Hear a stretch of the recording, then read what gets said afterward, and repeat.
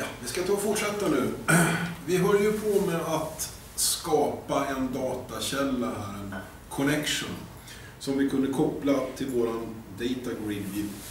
Och jag kom på nu att man ska skriva, här där det står username så ska man skriva sitt username, där det står password ska man skriva sitt password. Och när jag klickar på test connection så verkar det funka. Så jag säger okej okay här och då händer någonting. Database name not found. Lokal Ja, men jag tar bort UID då.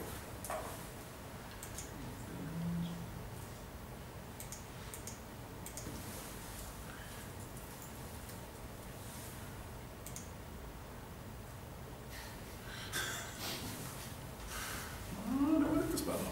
Ehm.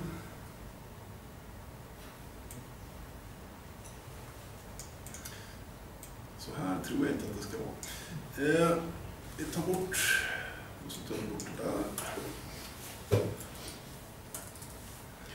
Och så provar vi igen med bild här. Eh, datakälla för maskinen. Låt oss använda DBK då för skojs skull. Eh, DB Technol. Så blir det fortfarande väldigt konstigt här. Men eh, jag tror vi gör så här. Eh, cancel, cancel. Och så eh, stänger vi den här. Så skapar vi ett nytt projekt.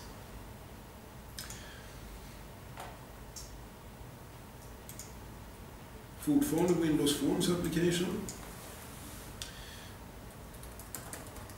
Onsdagstest 4 kan vi hitta. Och eh, vi tar en eh, Data Grid View, drar dit. Lä- väljer datakällan. Add Project Data Source, Database, Dataset. New Connection. Prova med DBK.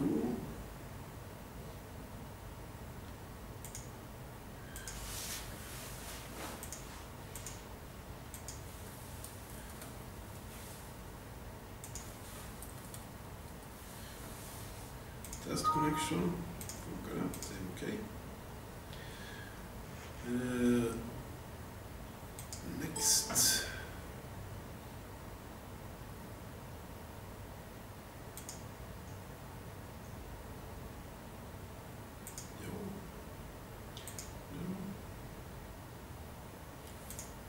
Och här har vi DBK-databasen. Vi kan ta eh,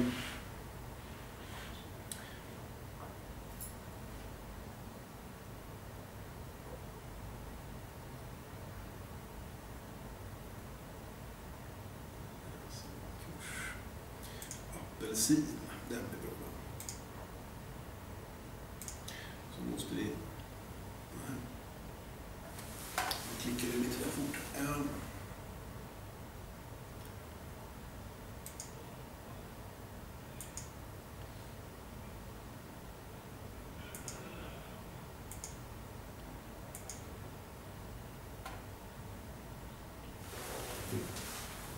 Jag skulle ha kryssat i den där rutan med tabellen så eh,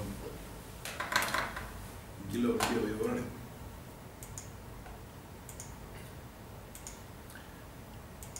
Vi gör så här. Eh, Vi gör en ny. Database, dataset.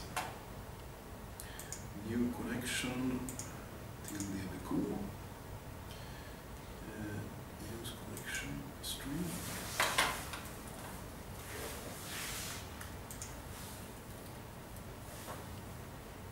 Test connection, yes.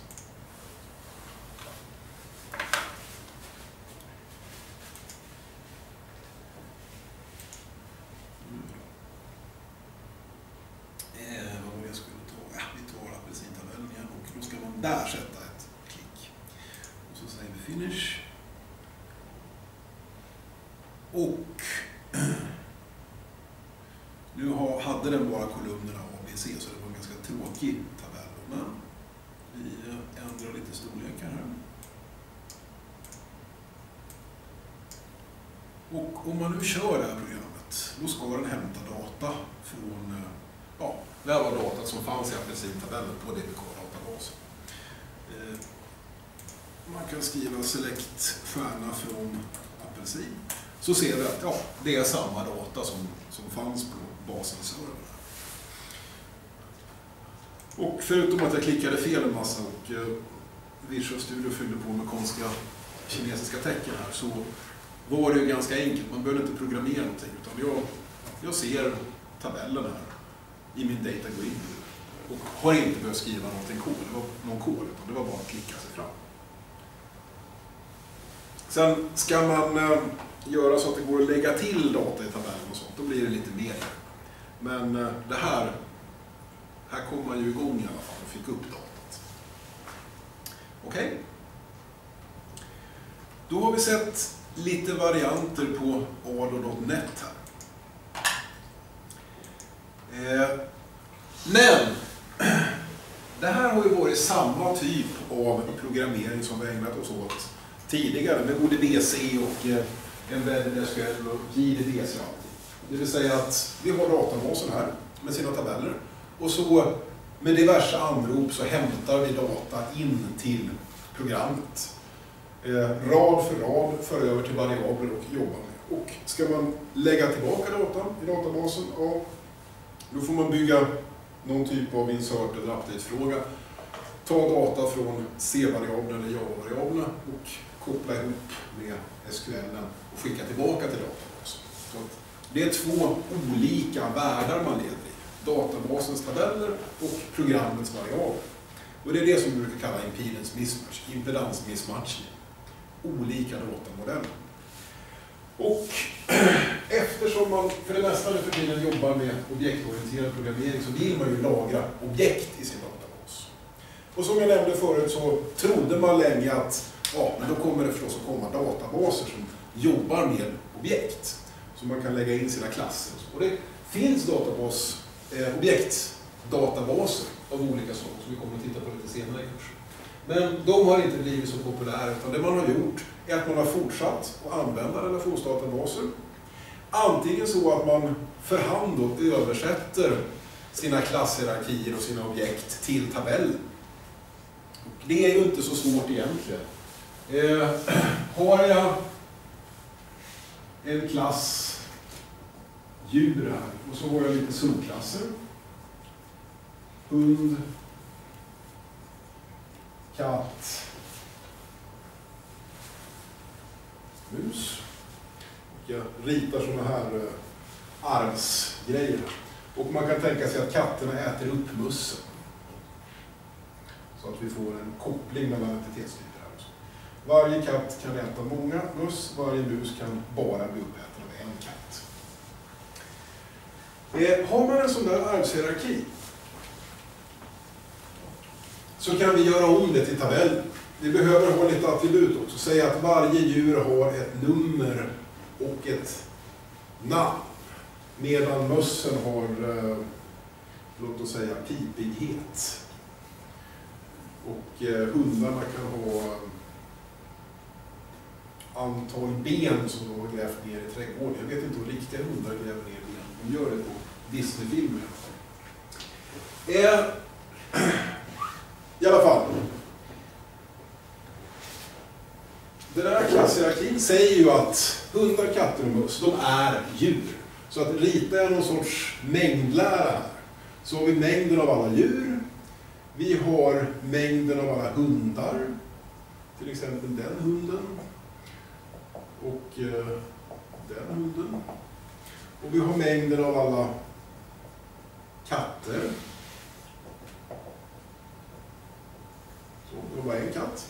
Och eh, så vitt vi kan se här så kan man även ha till exempel en orm som eh, bara är ett djur. Och då är det ju så att i och med att till exempel katter är djur så har ju katten också nummer och namn. Det är det som arvet betyder. Det är ju helt naturligt. Katterna är djur, alltså har de djurens egenskaper. Ska man göra om det här till en databas? Ja, det går att göra på lite olika sätt. En variant är att ha en djurtabell med nummer och namn. Och alla djuren är med i djurtabellen, för där ligger deras nummer och namn. Och sen om man tillhör en subklass, till exempel eh, hund, ja, då är man dessutom med i hundtabellen med antal ben. Så hunden Fido nummer sju finns med i djurtabellen, sju Fido. Och dessutom i hundtabellen nummer sju med tre nedgrävda ben. Och vi har en kattabell och en mustabell. Alternativt kan man göra en enda stor jättetabell eh, där till exempel hundarna som inte har någon pipighet kommer att få null i pipighetskolumnen. Man kan göra på olika sätt. Det här går att göra för hand och så kan man då skriva kod som skickar data med SQL-frågor till databasen och hämtar data tillbaka. Men en variant då, det är Object Relational Mapping.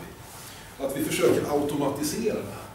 Vi försöker göra något sätt att översätta mellan de här. Och där kommer Entity Framework. Det är Microsofts sätt att göra det här. Man eh, jobbar i Visual Studio och förväntas jobba med SQL Server. Ni vet att Microsofts produkter är kompisar med varandra. Så att det skulle gå att använda till exempel PostgreSQL eller någon annan databashanterare till Entity Frame. Men tanken är att det ska vara SQL Server. Och låt oss titta på ett sätt att göra det, för man kan göra på olika sätt. Eh, en variant kallar de för Model First.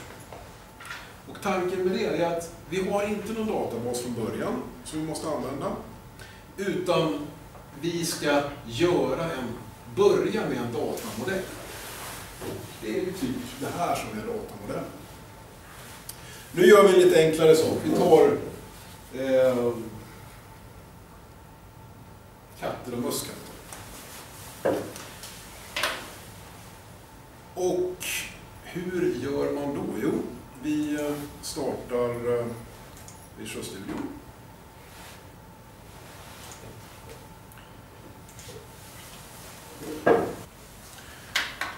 Och så eh, gör vi ett projekt.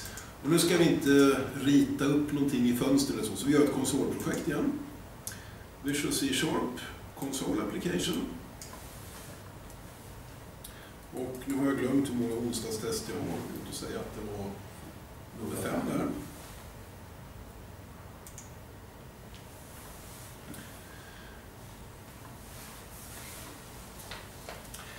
Då, eh, det allra första jag måste göra nu för att använda Entity Framework, det är att lägga till Entity Framework under references. Här. Så jag skriver, eh, jag använder den här Manage NuGet Packages. Jag kommer till online, nuget.org.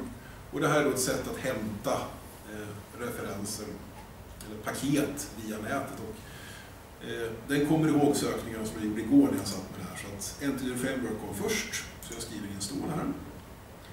Jag accepterar villkoren och så installing.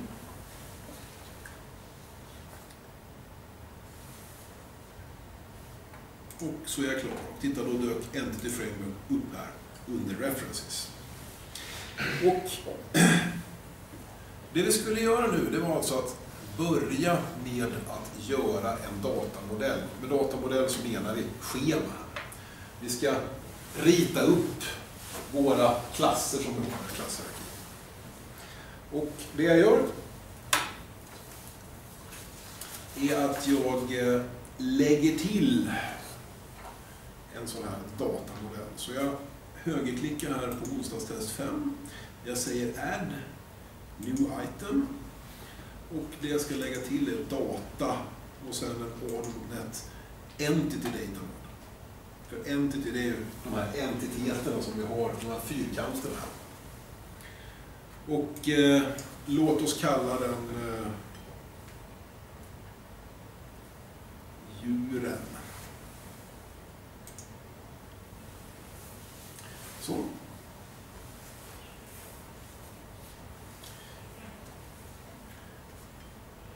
Och vi skapar en tom modell från början till att börja med. Finish. Så tänker den lite och här nu så kan man börja klicka. Och en sak som man kan göra är Add New Entity. Och vi skulle ha bara katten och mössen nu till att börja med.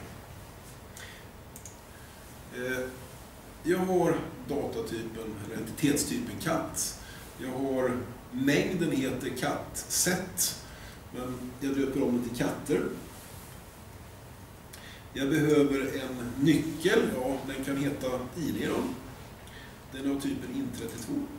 Och då dyker det upp en liten ruta där. Och katterna kan ju få ha eh, add new scaler property. Katterna kan ha en, låt oss säga att de har en vikt också. Sen eh, skulle vi ha möss också, så jag gör add new entity som heter mus. Och mängden av alla möss tycker Entity Framework ska heta musset, men jag kallar den för möss helt enkelt. Och eh, de får också ett ID. Då. Så. Och mössen kan ha eh,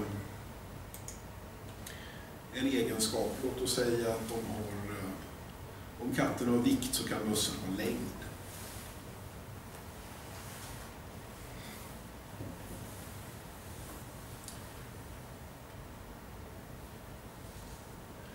Sen vill vi koppla upp de här. Katterna skulle äta upp mössen.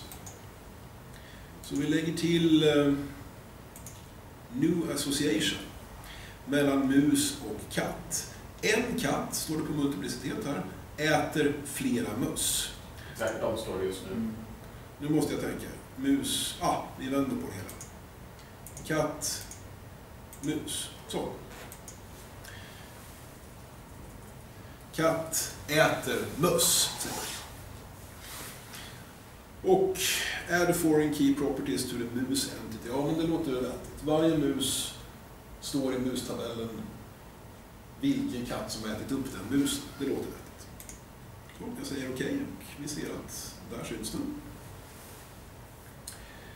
Och då ska vi då eh, generera saker från det här. Jag börjar med att starta Visual Studio som vi hade igång någonstans här. Här.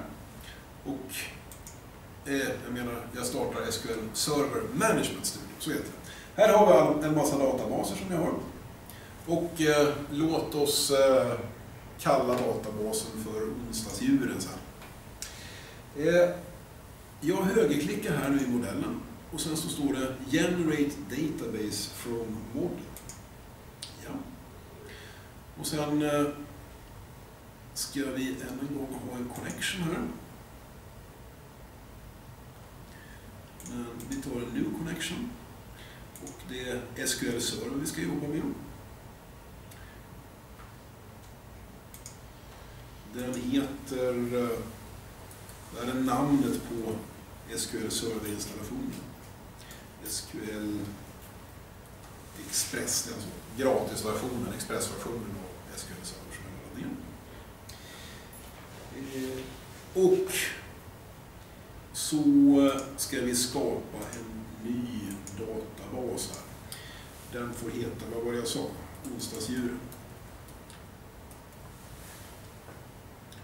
Så, och så säger vi test connection för att kolla. Ja, databasen finns inte än. Vi eh, klickar på OK får vi se om det Ja, jag vill skapa databasen.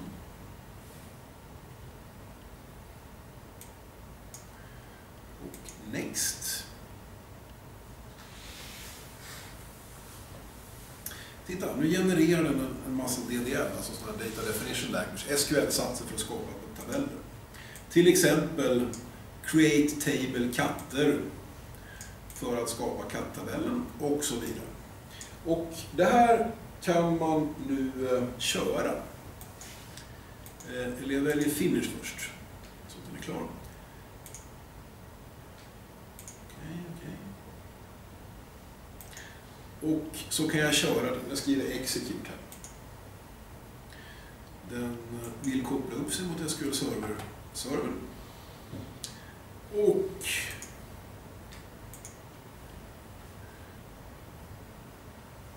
vi gör refresh på databases. Och titta där, onsdagsdjuren, den databasen har dykt upp.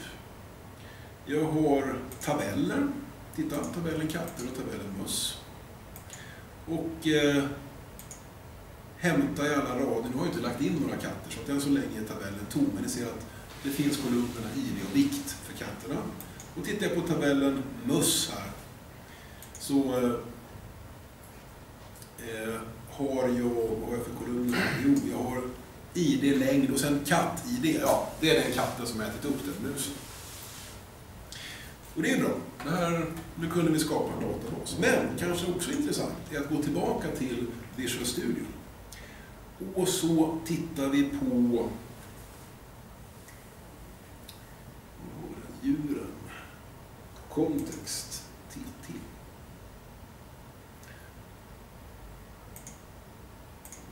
Där ska jag klicka.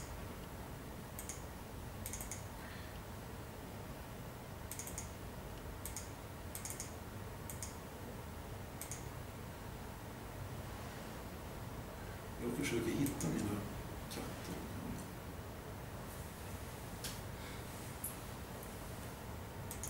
Jag ska börja med att titta där.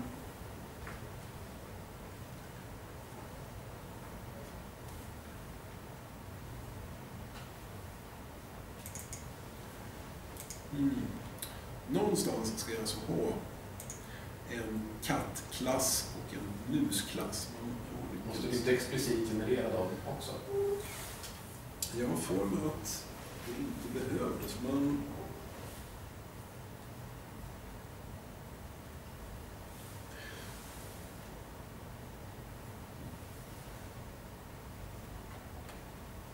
Var skulle de genereras då? För att... Här. Från modellen. Ja, jag kanske måste... Ja,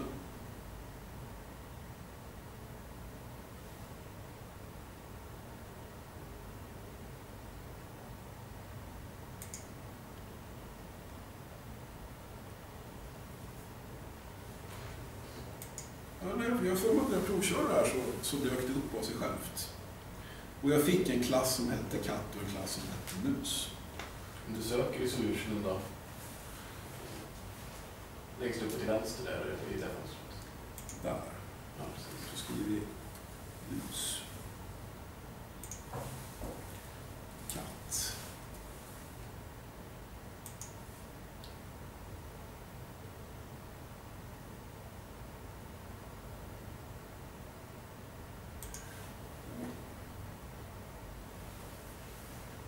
Nej, för att det ska finnas i, eh, i EDMX här och sen under TT här. Och här någonstans ska det dyka upp, men det har inte gjort.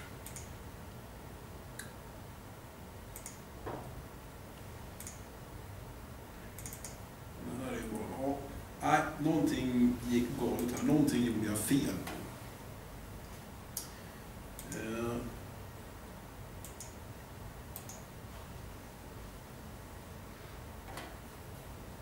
Generate database from model.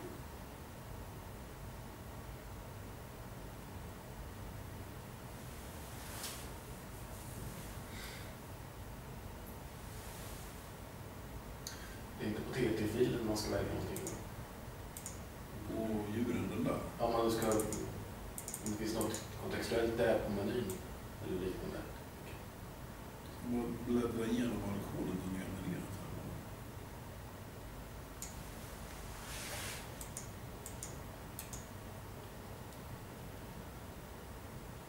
Show code app.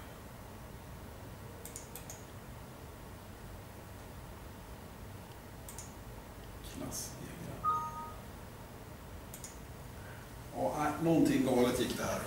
Men jag kan ju berätta vad som det är meningen ska hända. Alltså det ska genereras eh, kod och det jag hade tänkt göra var att generera kod. Eh, nu misslyckades det, men tanken är ju i alla fall att med model first, när man inte har någon databas, man har ingen kod, så börjar man med att rita upp djuren och eh, sina klasser på det här viset. Ska bara se om jag hittar ytterligare någon.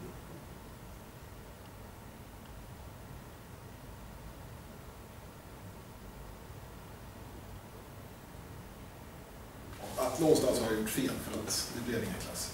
Men låt oss strunta i det och istället gå vidare till andra sätt som man kan använda Entity Framework. För här har jag alltså utgått från ingenting från början. En annan variant som man kan göra med Entity Framework det är att man har en existerande databas och så ska man börja jobba med den i ett program. Och programmet ska använda klasser och objekt, databasen är tabeller. Ja, då kan man utifrån databasen eh, generera klasser. Det finns till och med möjlighet att om jag har klasser och databas så kan jag tala om hur de hör ihop och så kan Entity Framework generera en koppling där. Men jag tänkte visa den sista varianten här, Code First. Att jag börjar med programkod. Eh, antingen att jag har skrivit ett program som jobbar med klasser och objekt och sen vill jag spara mina data i en databas. Då är det ju väldigt smidigt om man kan generera eh, generera databasen. Jag har programmet, jag vill spara data. Ja, generera databasen. Så, eller att man bara känner sig mer bekväm med att skriva klasser och eh, struntar i databasen från början, bara skriver sitt program med klasser och så genererar databasen från det. Så låt oss prova på det och se om det funkar bättre. Eh, code first. Gör några klasser och se om vi kan generera en databas utifrån det.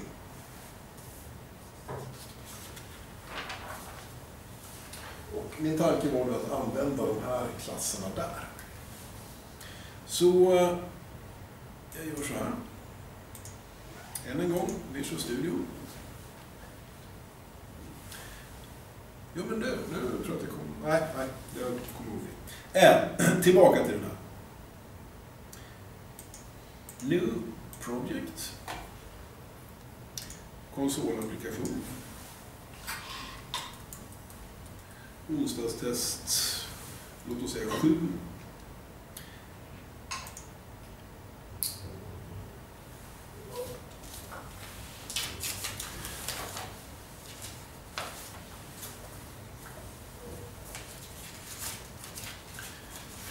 Än en gång kommer jag behöva lägga till Entity Framework här på References.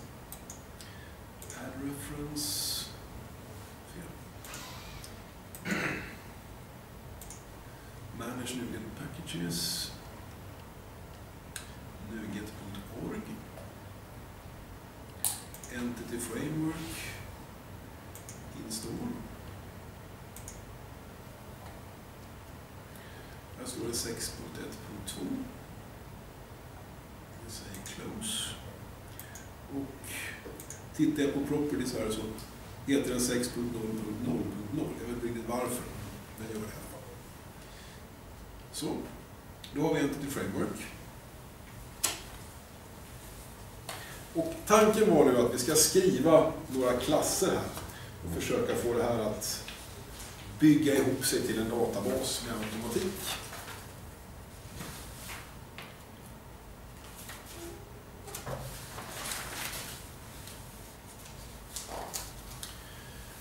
Jag går in i mitt program här, i mig.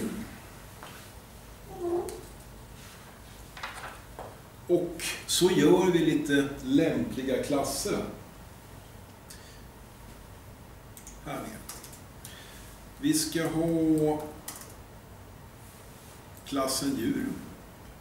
Vi skriver också public. Och ett djur, vad hade det för egenskaper? Jo, nummer och namn.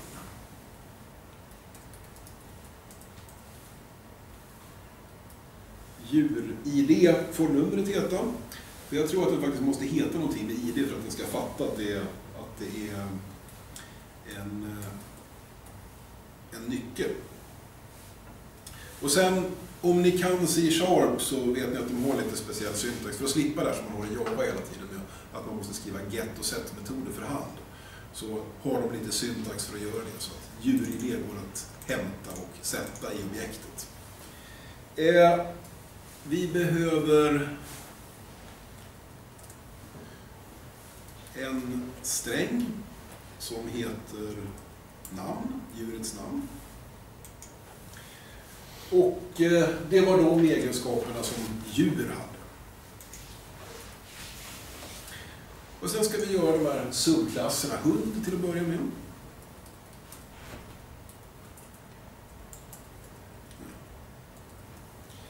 Hund som ärver från djur. Plus att djuren, hundar har antal ben. Och så använder vi eh, Visual Studios lite praktiska saker. Jag skriver propp här och klickar två gånger på tab. Så fyller den i en liten kodsnutt här. Eh, antal ben var alltså jag skulle ha. Det var allt som djuren skulle kunna göra. Eh, och så har vi eh, katterna. Eller vi kan ta mössen först, för katterna ska ju äta upp möss.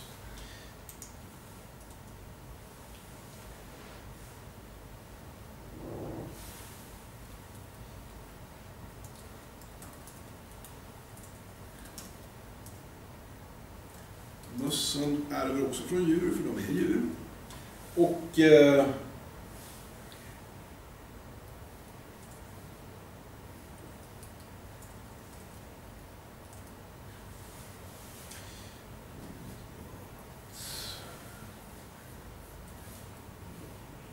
Jag skriver Keynote Found. Katt. Ja, än så länge finns ju inte kattklassen. Eh, Katten av. Och sen ska vi skapa kattklassen också då, så att jag tar och eh, klipper och klistrar lite grann.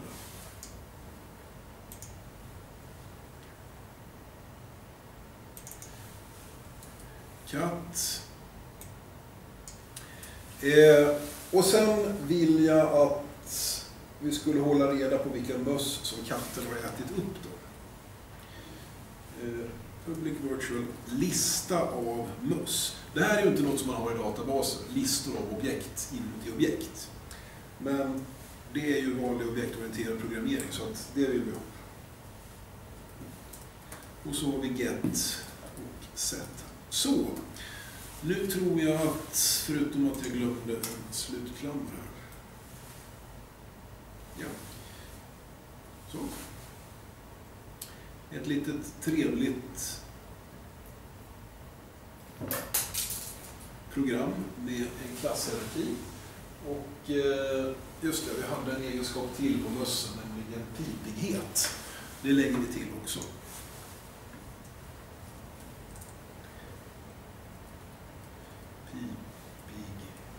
Pipighet. Så. Sen är det ju så att vi vill skapa lite objekt också. Annars är det ingen eh, större mening. Och nu... Eh,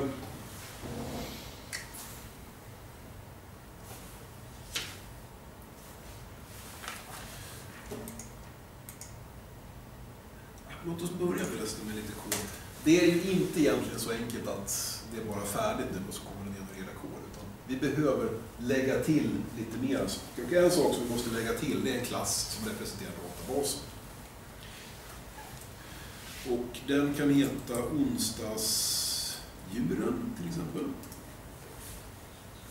Och den ska ärva från eh, system.data.entity.db kontext.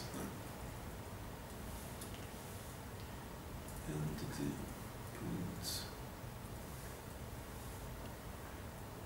Där. För det är alltså ett objekt som, en klass som representerar själva databasen där sakerna lagras. Och där så ska vi ha databasmängder av de här typerna av, av eh, klasser, av djur, hund, katt och så vidare. Så jag skriver public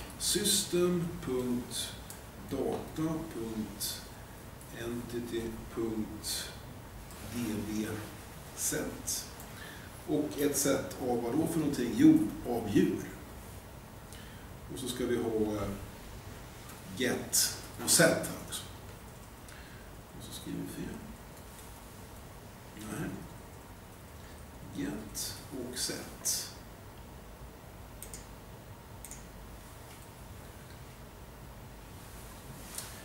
Varför bråkar det? Jo, det är för att jag har glömt att tala om vad eh, själva variabeln heter. Djuren får det.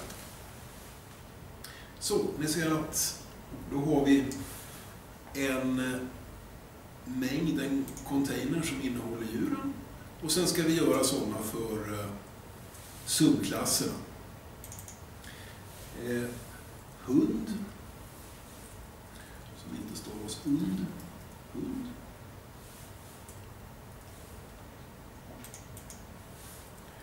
Hund. Katt. Och. Eh, jag kallar det för katter. Så.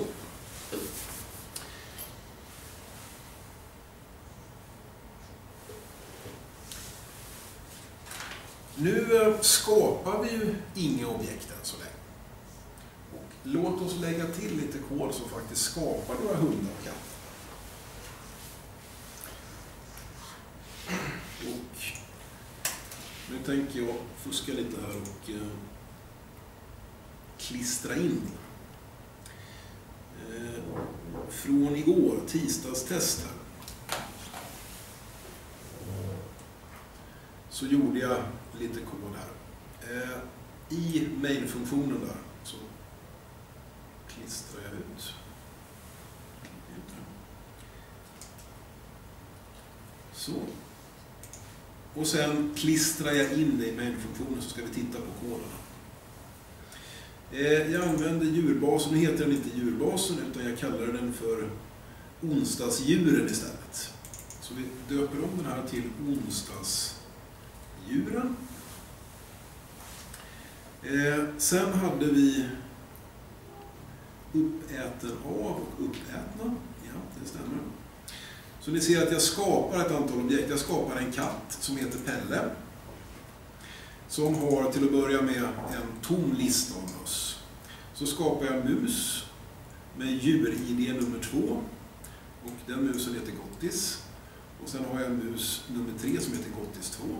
Och sen lägger jag till mus 1 och mus 2, alltså objekten. Det är pekare till objekt här som jag lägger till i listan i katten Pelle. Eh, och så lägger jag till katten här till eh, databasen. Däremot så lägger jag inte till mössen, det behöver jag inte göra för att de nås ju via katten, för katten innehåller pekare till de uppätna mössen. Och sen ska jag avsluta med att spara alla ändringar. Och då ska vi se om jag kommer ihåg hur jag gjorde här. Jag tror att man bara kör projektet här. Vi testar.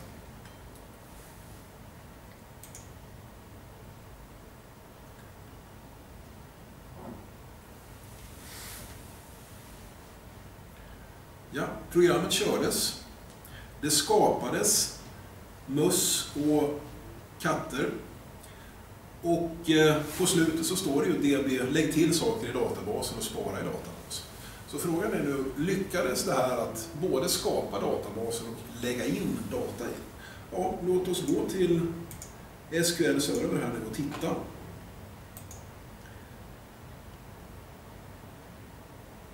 Jag gör eh, refresh på databaserna. Vad var det jag kallade min databas? Jag kallar den för onsdagsdjuren.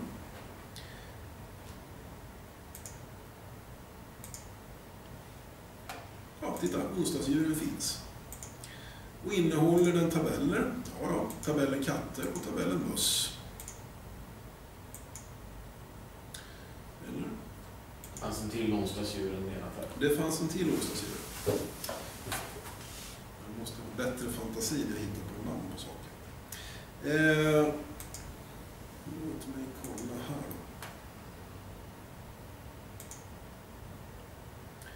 Här, onsdagstest 7. Det är den databasen. Eh, nu tittar jag här och nu har den skapat en tabell som heter djurs. Ja, den tyckte ju då att jag har en typ som heter djur. Vad blir plural av det? Ja, det blir djurs förstås. Och eh, jag kan titta på den. Ja, här har vi tabellen. Jag kan dra lite grann i saker här så att man ser. Vi ser att djuridé 1, Pelle, ja då. Djuridé 2, Gottis. Djuridé 3, Gottis 2. Vi ser att det är ju bara en enda tabell, vår djurstabell. Och det är ju den varianten, inte där varje klass i hierarkin får en egen tabell, utan alltsammans är hoppackat i en enda klass. Eh, Eh, Pelle nu, som är ett djur, har ju inga ben. Det är bara hundar som har ben. Så då får en, eh, Pelle null där. Eh, Pelle ingen mus, har ingen pipet, så får null där också. Sen har vi discriminator som talar om ja, vilken typ av djur är detta, katt eller mus. Och så har vi uppäten av, ja, Pelle kan ju inte vara uppäten av. Däremot mössen, Gottis och Gottis 2, ja, de är uppätna av djur nummer ett, som är Pelle. Så nu ser vi att den här gången lyckades det. Vi lyckades skapa en databas utifrån våra tabeller. Vi var tvungna att göra lite mera här. Eh, skapa en databas här. Det var inte helt automatiskt här att det bara blev en databas och data hoppade dit. Utan vi behövde lite extra kod här. Men eh, den gjorde en rimlig översättning till en tabell. Och eh, lyckades överföra data i och med att vi hade save changes här på slutet. Så ja, det gjorde ju faktiskt det. Den sparade data till databasen.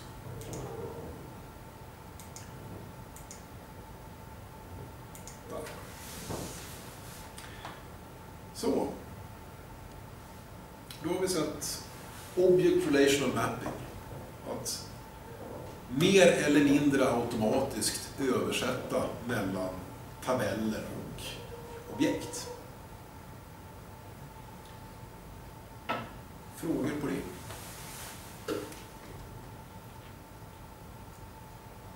Vad bra. Då eh, är vi klara. Sen finns det ju en, eh,